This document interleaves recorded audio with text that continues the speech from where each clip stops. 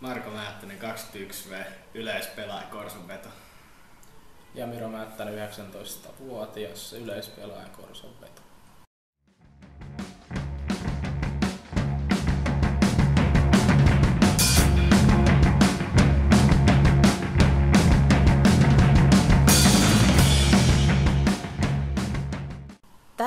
kertaa Korsovedon haastattelun on saapunut kaksi haastateltavaa, nimittäin Määttäsen veljekset Miro ja Marko. Tervetuloa. Kiitos. No aloitetaan tällä perinteisellä kysymyksellä, että miten ajauduitte aikoinaan lentopallon pariin? No, mä varmaan voin aloittaa, kun mä oon se vanhempi, niin tosiaan joskus, no pienempänä faija on vienyt katsoa lentopalloa ja molemmat kuin vanhemmat harrastanut lentopalloa, niin sen takia varmasti ajautui siihen lajiin silloin, olisiko seitsemänvuotiaana ollut, kahdeksan seitsemänvuotiaana Espoon Lenttiksen merkeissä. Joo, ja mä sitten siinä Marko Bonavedessa pari vuotta myöhemmin aloitin kanssa siellä Espoon Lentiksessä Markon kasamassa ryhmässä. Harjoittelitteko yhdessä nuorempana treenien ulkopuolella ja kuinka yhteispeli sujui pelikentillä? No, tuota noin, kyllä me aika paljon käytiin treenailemassa tai treenaa, treenata pelaa. Tykätiin pelata, niin kuin meillä oli nurkkenttä vieressä, mihin me viritettiin aina joko maali yli tai jollakin lanka keräällä siihen verkkoon ja siellä käytiin palloilemassa. Ja joskus sisätiloissakin pienellä tekniikkapallolla, mikä poverista saa, niin vanhemmat ei nyt hirveästi siitä tykännyt, mutta kyllä sitä me tehtiin aika paljon myös. Ja tota, no, yhteispeli, kun miettii, niin ihan se nyt... No emme nyt olla kilteempi olla toisillemme, että aika suoraa palautta tulee koko ajan, mutta se on ihan hyvä voi potkia toista koko ajan. Teillä on ollut monia valmentajia, mutta tarraudutaan heistä yhteen, eli juniorivalmentajaanne Teuvo Nikkiseen, joka on palkittu vuoden nuorisovalmentajana vuonna 2012. Miksi Teuvo on niin hyvä valmentaja ja miten hän on vaikuttanut teidän uriinne? No siis mun mielestä ainakin niin sen takia on ollut hyvä, koska treeneissä niin toistetaan paljon. Se on se sama peruskaava yleensä ollut, että se on tullut niin kaikenlaisia tekemisiä, että on tullut passaamaan ja nostelemaan ja lyömään ja torjumaan. Ja... No, kyllä mä oon aika tykännyt Teo Valkosta. Mä haluaisin, mulla on ollut siinä niin tähän mennessä D ja, D ja sitä eteenpäin oltiin A-junnuihin asti siellä. Että kyllä mä tykkäsin tosi paljon. Joo, se, oli, se osasi käsite, käsitellä meitä isoa joukkoa pikkukakaroita siellä. Ja se oli hyvä, että me tota, harjoiteltiin paljon kaikki, nämä, kaikki erilaisia näitä tekniikoita ja tuli paljon toista. Esimerkiksi sormia hialantiin niin on sitten tässä muotoutunut ihan hyväksi loppujen lopuksi. Miro, olet tehnyt selväksi, että lentopallo on ykköslajisi. Mikä lentopallossa viehättää niin paljon, että olet halukas jättämään mahdollisesti rahakkaan uran keihään heittäjänä? No, kyllä mä pidän itteeni vähän enemmän joukkoja urheilijana, että se on kiva, kun siinä on porukkaa, ketkä aukoo sille päätä ja saa takaisin päätä.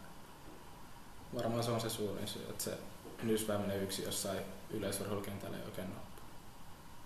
Paljon on puhuttu Miron kakkoslajista, mutta miten on isoveljen kohdalla? Oletko kisannut keihäänheitossa ja paljonko skeppi on lentänyt pisimmillään? Ollaan me kisannut siinä pari kisaa, mutta pääasiassa oli juuri sitä, kun Miro on siellä nurkkentällä heitellyt, niin on heitellyt takaisin. Että sitten se keihäsinto vähän laantui sen jälkeen, kun ei se ole enää keppiä lentää takaisin sieltä, mihin Miro sen viskasi. Oliko, mä, mä en ole ikinä miesten keistä tosissaan, että naisten keistä, niin en nyt usko mitään lukemaan heittää, mutta joku kuus, reilu 60 metriä. Olette myös kovia biitsimiehiä ja olette molemmat edustaneet Suomea arvokisoissa. Nähdäänkö Määttäsen veljekset vielä joskus biitsiparina arvokisoissa? Haluatko sä vastaa? Luultavasti ei nähdä, että en usko, että kokonaista peliä saataisiin pelattua sovussa. Saataisiin kun mulla palaa aika pahasti kiinni tai molemmilla. Kyllä yhdään Miron kommentti, aika epätodennäköistä arvokisoissa, että joku yksittäinen turnauksen voi ehkä käydä, mutta sekin on pakko olla silloin joku pakkorako, ettei ollut vaan muita pelaajia valittavana. Ei siis millään pahalla, mutta aika kovasti joskus, ainakin beachissä ei enemmänkin vielä kuin lentopallossa, niin kohtaa sitten. No niin pojat, kiitos haastattelusta ja siirrytäänkin sitten perinteisen tehtävän pariin. Eli pojat on nyt tässä selät vastakkain ja niillä on molemmilla paperit kädessä. Vaaleanpunainen paperi edustaa Miroa ja vihreä paperi Markoa. Ja täältä tulee kymmenen kysymystä ja teidän kuuluisi nyt sitten vastata sen mukaan, kumpi teistä on oikea. Oikea vastaus tähän kysymykseen. Oletteko valmiina? Kyllä. Kumpi teistä käyttää enemmän rahaa vaatteisiin? Miro kummallakin vastauksena yes, eka meni yhteiseen säveleen. Kumpi teistä on aina oikeassa? Ja sama vastaus taas molemmilla, hyvä. Sitten vähän tämmöinen ufompi kysymys. Jos James Bond tarvitsee apulaista, kummalle hän soittaa?